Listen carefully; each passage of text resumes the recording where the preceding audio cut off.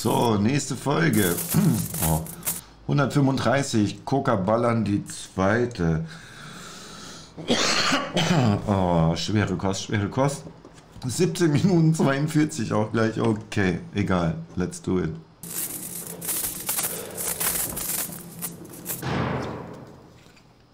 Nee, nee habe ich mir dann nicht vorgenommen. Ich glaube, das macht auch keiner dann in diesem Moment, wenn du fünf Tage alles kaputt gestochen hast und dann gerade mal so runterkommst und alles tut weh und in dieser Phase nimmt man sich natürlich vor, äh, das passiert mir nie wieder.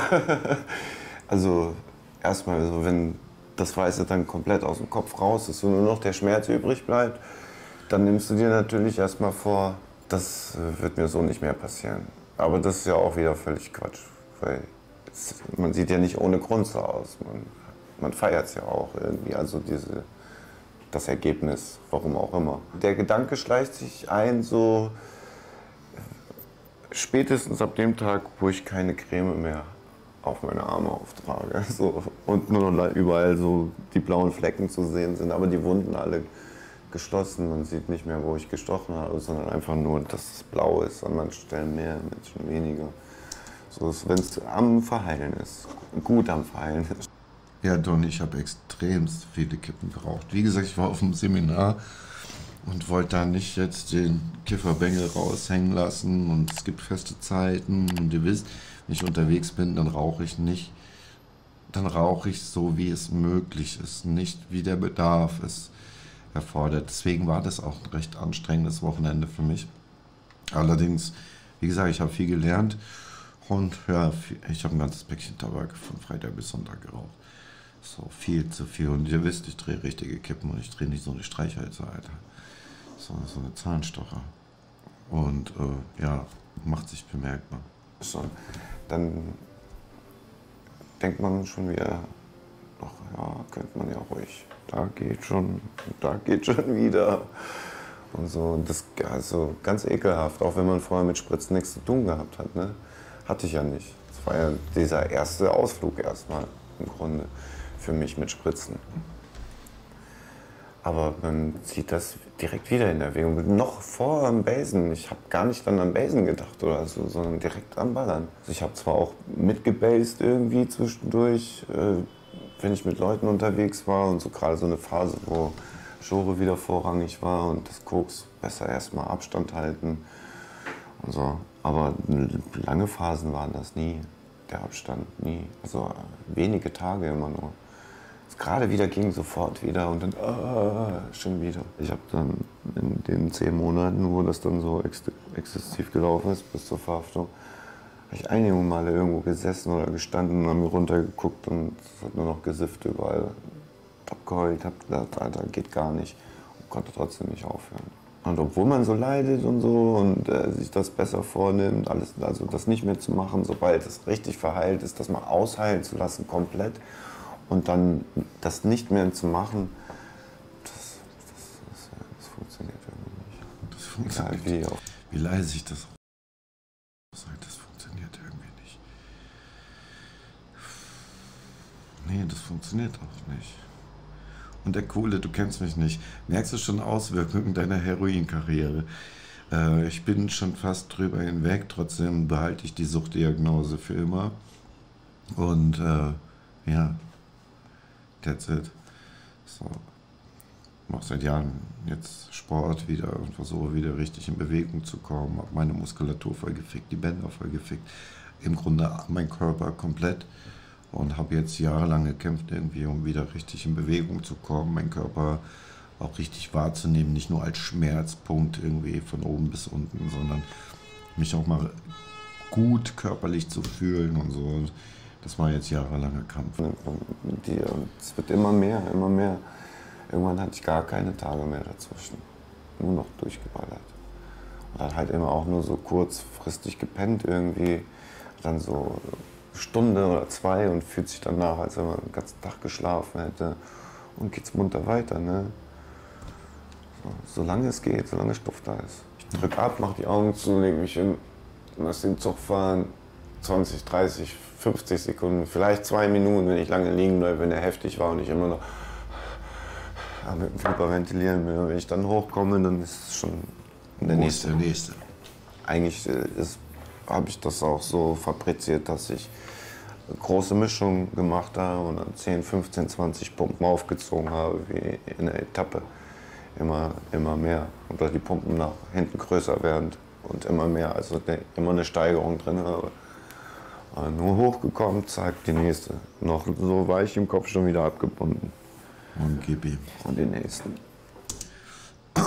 Wieder ab, ja, hab ich, bin ich ja drauf eingegangen. So, ähm, mir geht's, also so, ich habe mich zurückgekämpft ins Leben, die letzten zehn Jahre Cannabis clean oder knapp zehn Jahre Cannabis clean. Irgendwie war trotzdem ein harter Kampf auch wieder. Ja, die Nachwehen vom Heroin und Kokainkonsum. Ähm, ja, wieder glatt zu bügeln, gerade zu machen, soweit es eben möglich ist. Und es ist nicht komplett möglich. So, ich habe auf jeden Fall etwas verloren. Auch wenn ihr glaubt, irgendwie, wenn ihr mein Parcours-Video oder sonstiges gesehen habt, Alter, der ist fast 50, hat 30 Jahre auf der Straße rumgehangen, aber geht so ab. Das bin ich und äh, das ist immer noch nicht 100%, ganz weit weg noch von 100%. Ich bin vielleicht auf 65% körperlich, wenn überhaupt. Wenn überhaupt. Trotzdem fühle ich mich schon ziemlich fit wieder, ne? Was hat der Konsum mit der Blase zu tun? Das verstehe ich jetzt nicht. Wusstest du, dass Paracetamol Codein-Tabletten gibt? Paracetamol hat sich erstmal so ungefährlich hatte beim Arzt extra gesagt, ich will keine Opioide. Dann habe ich diese Tabletten bekommen und mich in zwei Wochen unglaublich hochdosiert. Jetzt bekomme ich noch von der, was? Hast du nicht weitergeschrieben, Sonny? Ja, aber ist so. Paracetamol mit Codein äh, ist Standard auch. Also es gibt es schon länger, habe ich auch schon gesehen. Ähm, ist eine Frechheit im Grunde. Wenn du deinem Arzt vorher gesagt hast, dass du nichts mit Opiate haben willst oder Opioide haben willst und er dir das dann verschreibt, ist ein Grund, ihm in die Schnauze zu hauen. Um es mal auf den Punkt zu bringen. Fotze.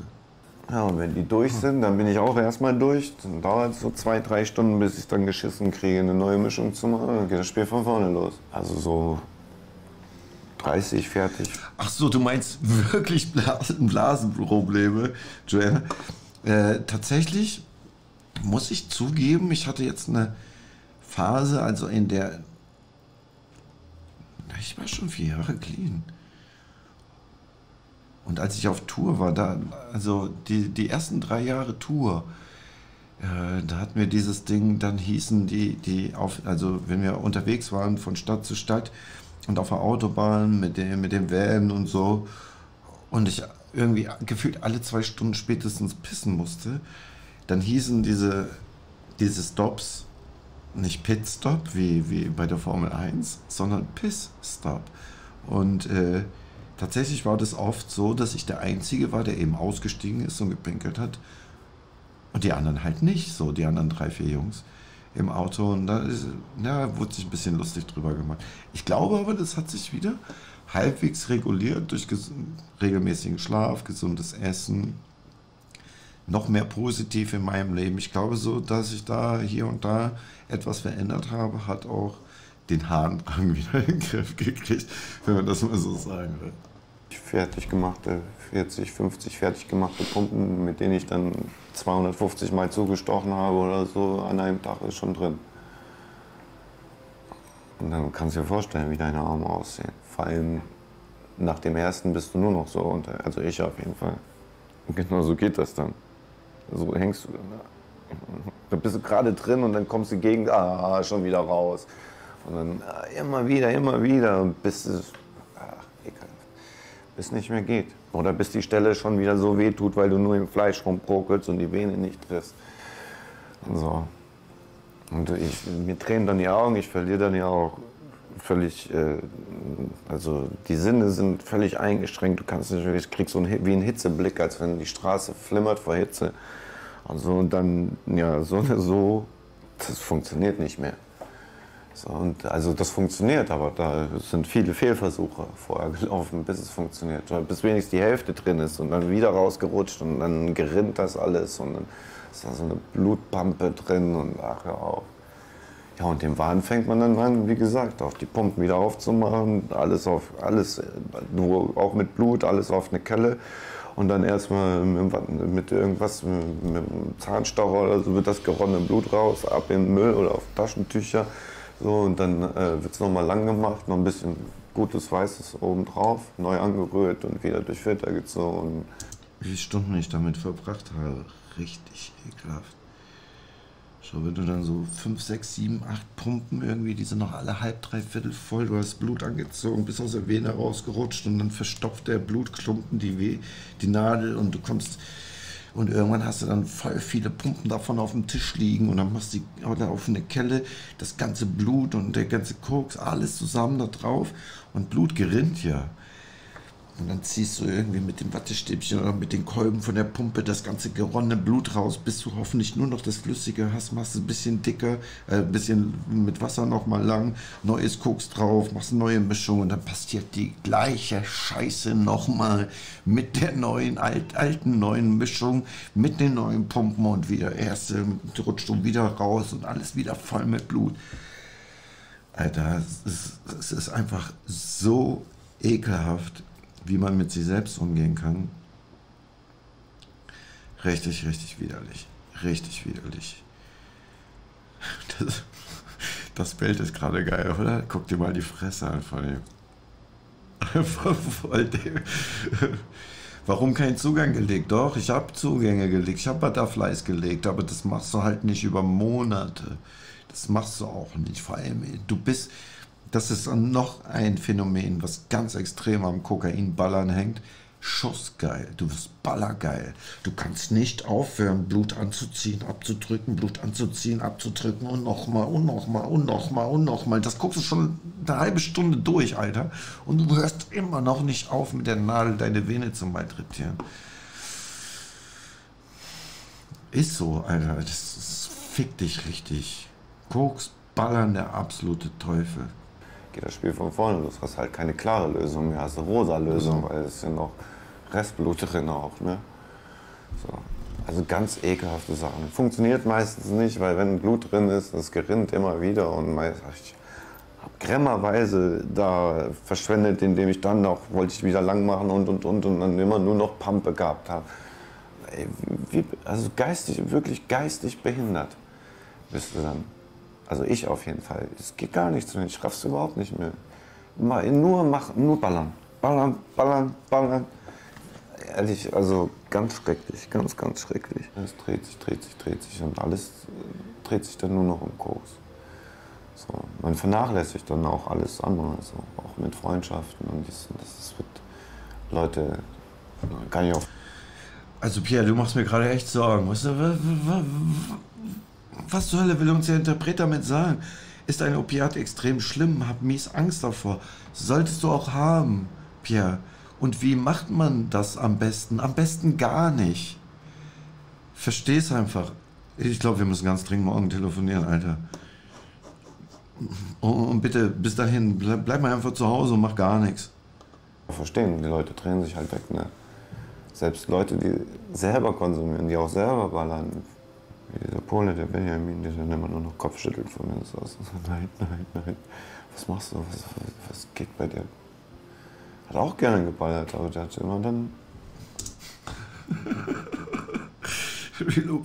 Danke für die Aufklärung.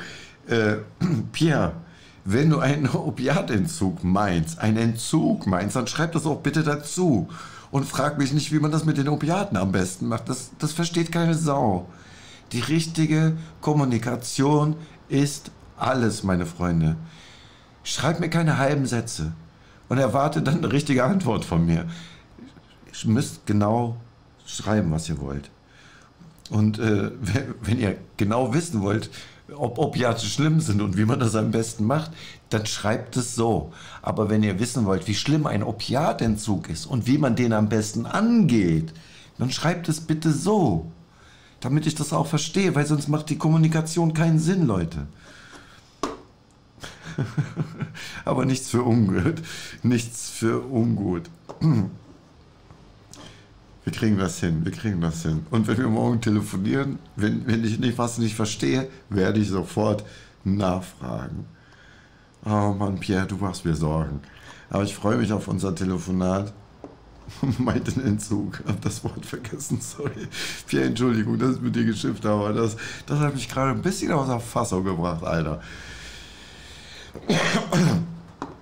Aber ja, klären wir morgen. Wir können morgen gerne ausführlich sprechen, wenn du eine E-Mail geschrieben hast mit deiner Telefonnummer und deinem Namen, hier auch deinem Insta-Namen dazu am besten, damit ich weiß, okay, Pierre 68 2001 ist auch vermutlich Pierre bla bla bla in der E-Mail. Dann bist du morgen auf jeden Fall mein Gesprächspartner. Ich freue mich auf dich. Ziemlich zügig einen Hals voll gehabt. So, nee, mehr geht nicht, mehr will ich nicht. So, und dann dieses sinnlos in sich rumgestocher und Schussgeil nennt man das und immer wieder zieht man an und dies und dann daneben und äh, voll ekelhaft.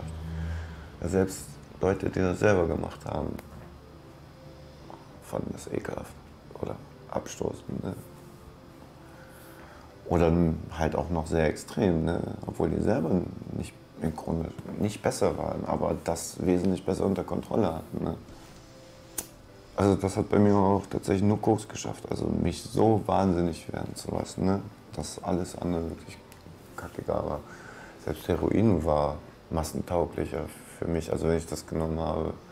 Das sah zwar auch aus wie ein Honk irgendwie, ne? wenn ich richtig durchgefeilt war, aber mein Kopf hat wenigstens noch einigermaßen funktioniert. Ne?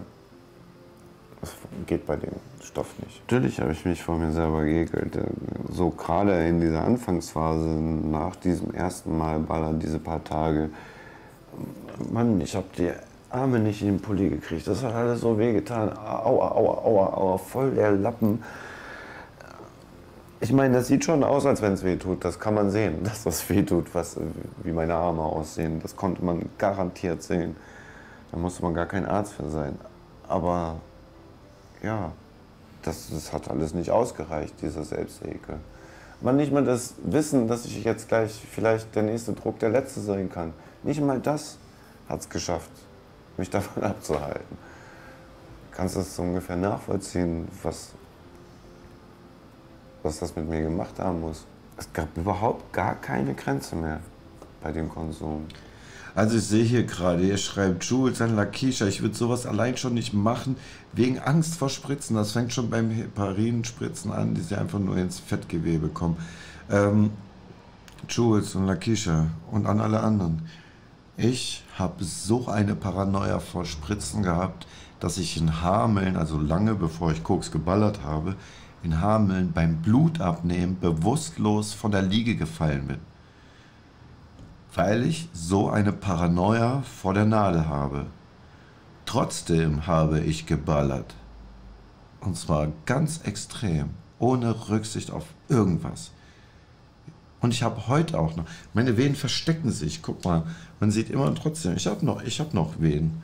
So, und äh, trotzdem, sobald es, ich irgendwo beim Arzt bin und es muss Blut abgenommen werden oder sonstiges, habe ich in den Armbeugen gar keine Venen mehr, hier oben gar keine Venen mehr, alles versteckt sich. Die müssen an der Hand abnehmen.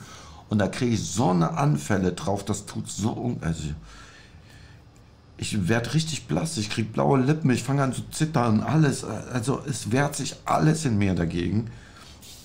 Ich lasse es dann machen, weil ich weiß, es muss dann gerade gemacht werden. So, ein Blutbild, wir brauchen ein Blutbild oder eine Blutprobe, einfach nur für was auch immer. Ja, ich habe auch gedacht, mir passiert das niemals. Dafür habe ich viel zu viel Angst, viel zu großen Respekt und Ekel vor Spritzen. Das geht dann einfach weg. Wenn der Rausch da ist, der richtige Rausch da ist, der dich zwingt dann auch noch mehr und dann die Situation auch gerade passt und dann wird es passieren. Es ist einfach so.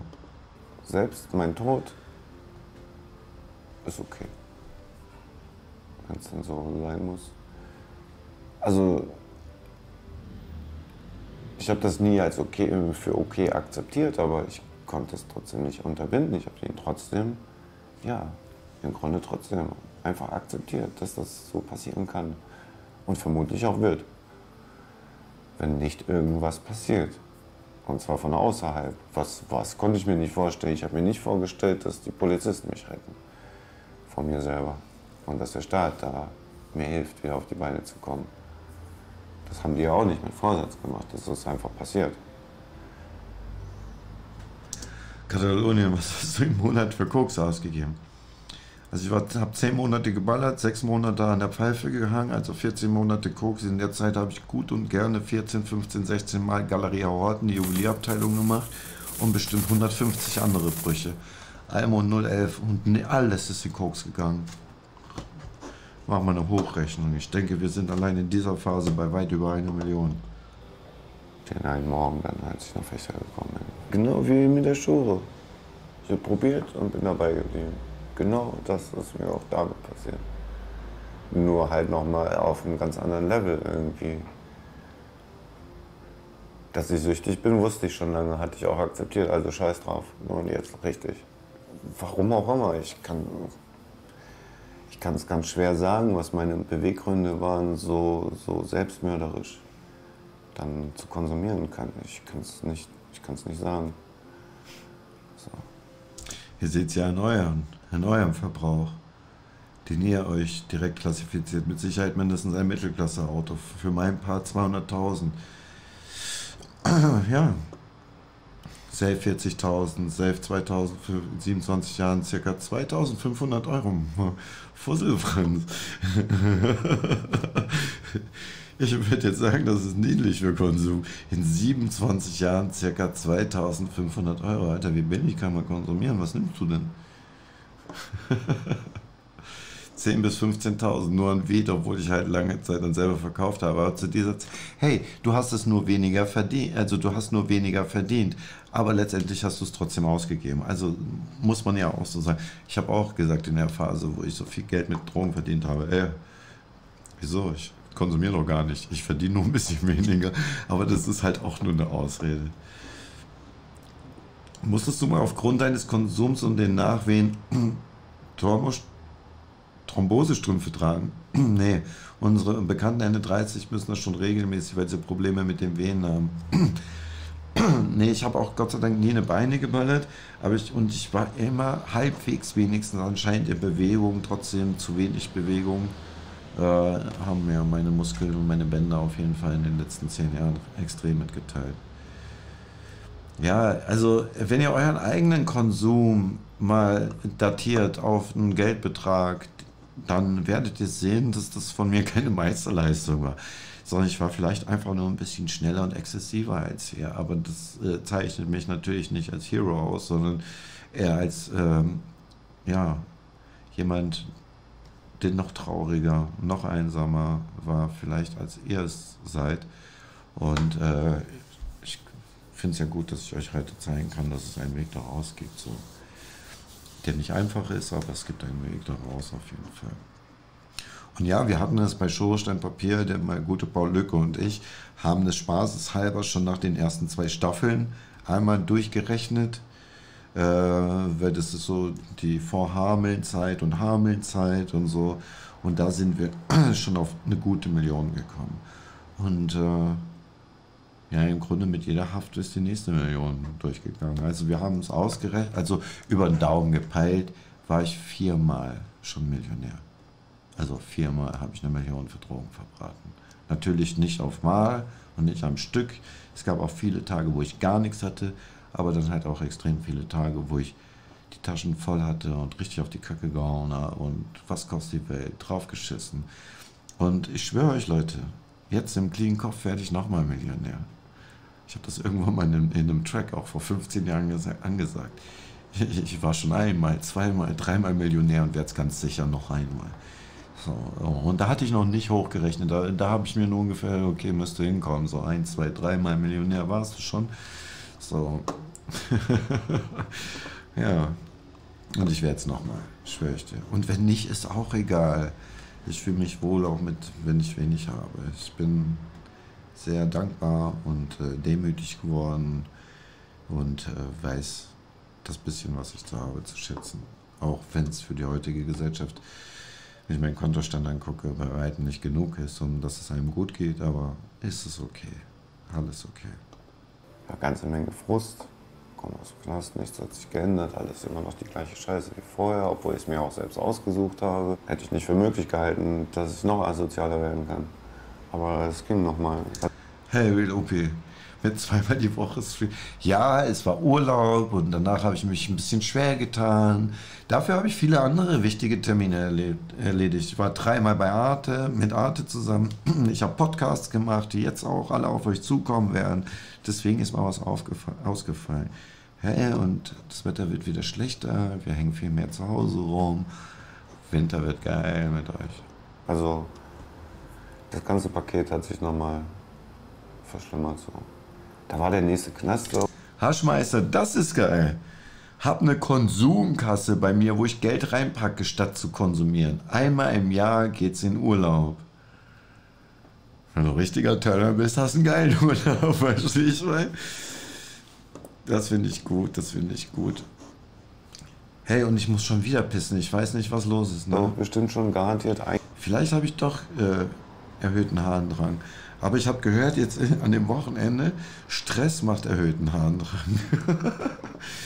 so, äh, lasst mich eben kurz flitzen, Leute, sonst wird das nichts.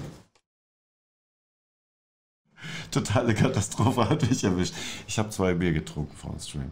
Sorry, die Jungs in der Küche haben mich genötigt und die müssen jetzt raus. Jetzt Bier Nummer zwei. Bin gleich wieder da.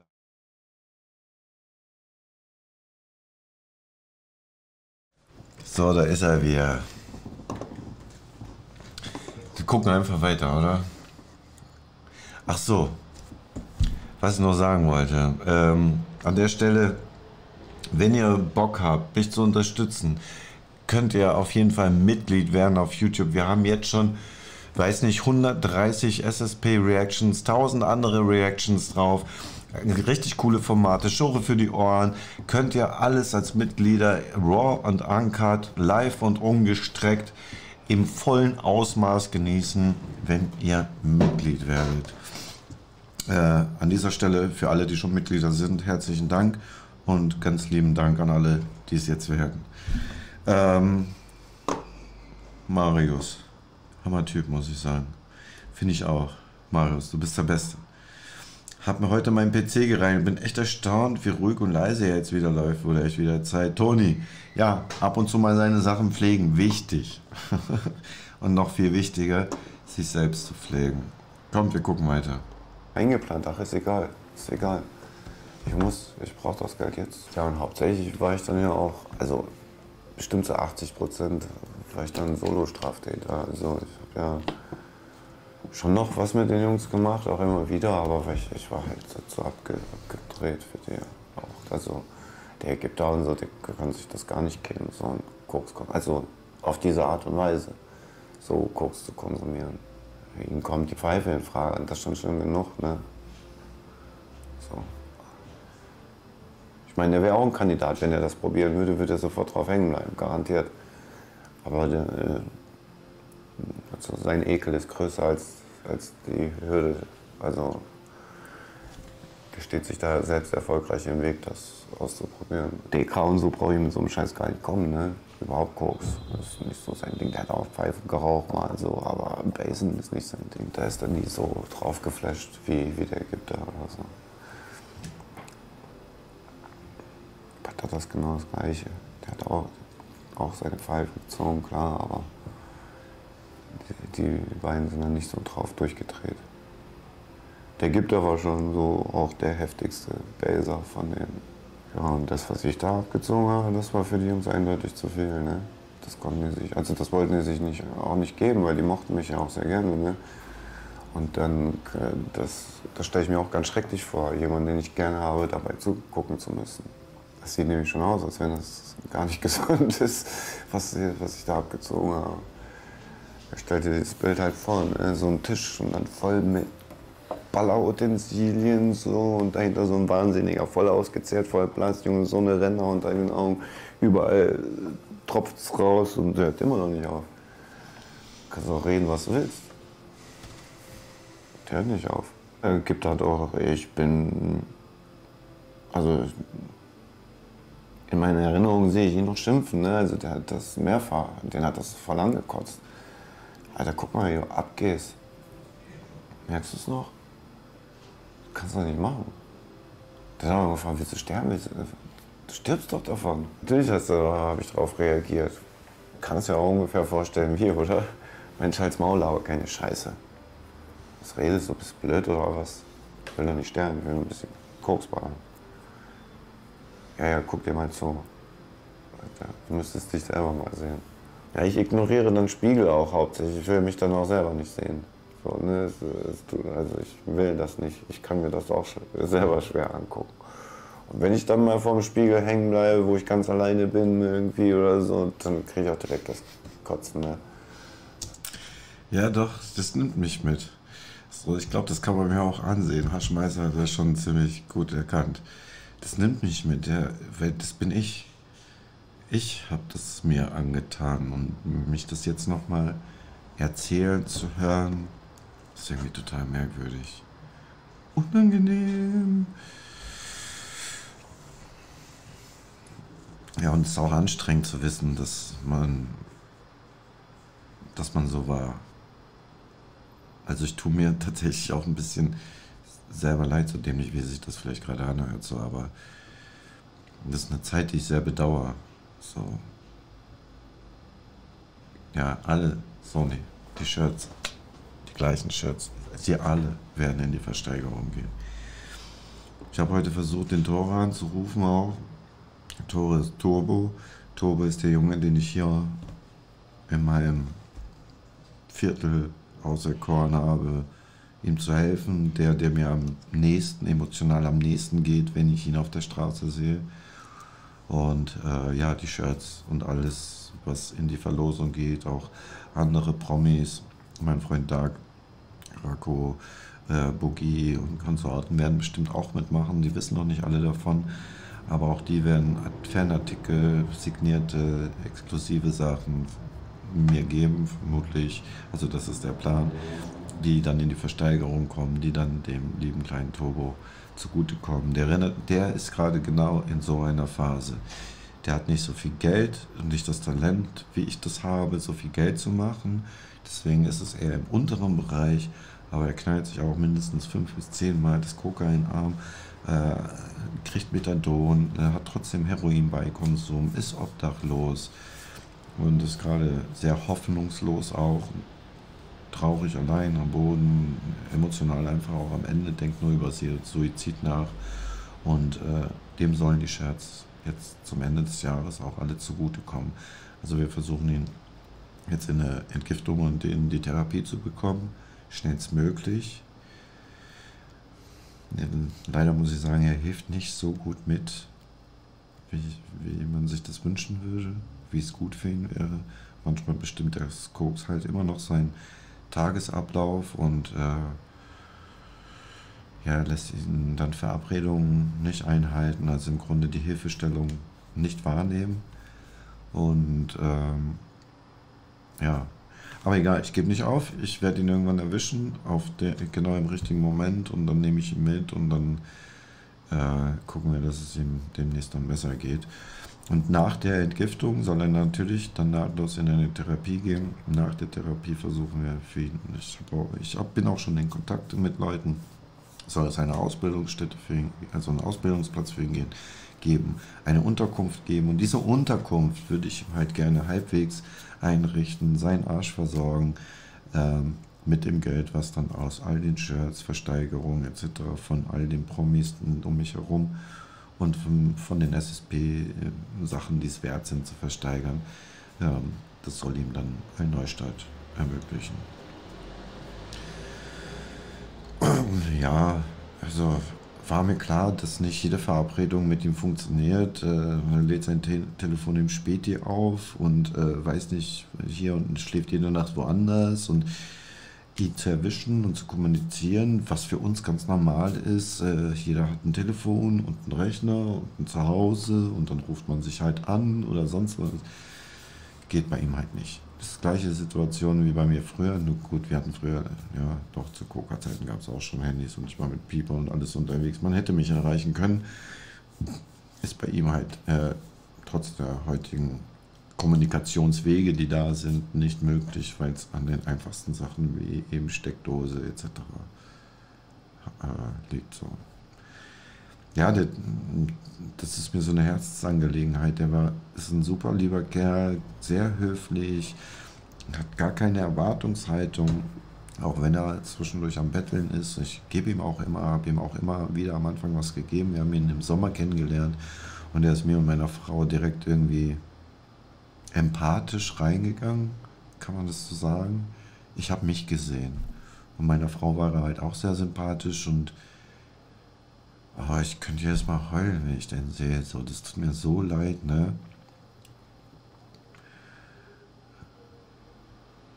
Corona kann das Coach, Cannabis Coach Heroes, ich mein verschwitztes Superman-Shirt zur Versteigerung beisteuern? Oder das von der, wenn du Leute hast, die richtig Bock auf deinen Achselschweiß haben, dann äh, ja, gerne. Und je mehr es bringt, umso besser. Ja, das muss schon von ihm alleine kommen, aber man muss, er muss ja auch erstmal eine Perspektive haben. Und jetzt in seinem Zustand, dass er sich selbst eine Perspektive schafft, ist ein Ding der Unmöglichkeit. Ich kenne das habt ihr mitgekriegt. Ich hätte mich weg, ich hätte mich totgeballert, obwohl ich es wusste, hätte ich es trotzdem gemacht. So, in dieser Phase ist er auch. Er will, er, er will das alles nicht mehr. Er will nicht dieser Sucht nachkommen, diesem Elend und sich immer dreckig und kaputt fühlen und so. Das will er nicht. Aber er kann es auch gerade nicht alleine steuern. Deswegen braucht er schon etwas mit Nachdruck und eine klar, klar funktionierende eine angesagte, dann klar funktionierende Sache, auf die er sich verlassen kann. Ich bin dann ja auch da. Also wenn er hier irgendwo in der Nähe von Berlin dann in eine Therapie kommt, äh, werden wir ihn auf jeden Fall auch besuchen und äh, auch so emotional einen Beistand leisten. So. Nein, äh, Mephisto ist leider nicht mit ihm möglich. Ich, ich ich werde ihn auch nicht mal nach Fotos fragen, auch wenn die Aktion um ihn geht. Ich will ihn nicht vorführen oder sonstiges. Ähm, wenn es gut läuft und er fit aus der Entgiftung irgendwann in der Therapie ist und sich fit fühlt und bereit fühlt, auch sein Gesicht zu zeigen, dann wird er mir das sagen und dann werde ich ihn euch vorstellen. Ansonsten ist er für euch nur ja, Tore einfach. Turbo der Typ von nebenan. Oder du selbst. Also, er ist so wie wir. Er, weißt du? Ja, wenn ich drüber nachdenke, kann ich schon wieder heulen. der tut mir echt brutal leid, der Junge. Schon mal drüber nachgedacht, ein Live-Event aus der Versteigerung mit Eintritt und Livestream zu machen. Da kann man auch über den Eintritt was an ihn geben, wenn man nichts, wenn man nichts kauft. Was an ihn geben, gehen, wenn man nichts, wenn man was kauft. Was kauft wahrscheinlich ja, ja, ich glaube, ich denke so schon ziemlich groß. Ich denke immer ein bisschen groß so und das ist schon groß, aber ein Live-Event, das ist dann, das ist dann Vorführen, das ist so, das möchte ich nicht. Das möchte ich nicht, würde ich nicht für mich wollen und das will ich auch nicht für ihn. So. So, kommt Leute, wir gucken uns noch die letzten viereinhalb Minuten an und dann ist auch schon wieder vorbei für heute. Wobei ich sagen muss, heute bin ich ziemlich froh, wenn es vorbei ist. Ich bin echt müde und ich habe scheiße Hunger und ich will sehen, wie die meine Küche versaut haben da hinten. Also krieg ich muss direkt heulen, wenn ich so ein Elend sehe. Dann. Das will ich auch bei meinen Kollegen, wollte ich das auch nicht sehen. Der wird mir auch total leid tun, wenn ich einen Kollegen hätte, der so aussieht. Ja, ich kann schon nachvollziehen, warum die nicht mehr mit mir rumhängen wollten, viel oder immer nur in Phasen, wo es dann wieder einigermaßen gerade ging wo ich dann drei, vier, fünf Wochen vielleicht nur so mich mit Eierdiebstähle da versorgt habe. Und natürlich ist dann nicht so ein Konsum. Ich dann, was weiß ich, viel konsumiert habe, vielleicht mal zwei Gramm am Tag oder so. Aber vielleicht auch mal zwei, drei Tage nichts und dann wieder nur ein bisschen hier mitgeschnappt und da und zusammengelegt und ein bisschen Scheiße geklaut hier und da verkauft, ein paar Anzüge geklaut auch noch und so. Und mich haben wir, haben wir jetzt auf den Nacken erfahren. Auch nochmal erwischt, auch bei so einer Eierdiebstahl-Scheiße. Ne? Ja, immer wieder, weil das hört ja auch nicht auf. Große Dinger sind nicht durchgehend, also nicht durchgehend, haben die mich so lange versorgt, dass ich da jetzt irgendwie hätte Monate von zehren können, schon gar nicht mit dem Konsum. Und vor allem, ich habe dann auch im Grunde hirnrissige Geschäfte gemacht. Also voll unter Wert verkauft, weil er mir echt gutes Koks hingehalten hat. Ich meine, die sind ja auch nicht blöd, die Dealer, ne? Lässt sich auch mal abspeisen, weil es schnell ging. Und alles, alles erfüllt, mein ganzer alle Wünsche erfüllt. Direkt mit der Tüte. Und dieses viele Geld und sowas da drauf gegangen ist, bin ich gar nicht traurig, aber irgendwie, es war eine ganz leere Phase in meinem Leben. Selbst meine Jungs irgendwie haben sich weggedreht.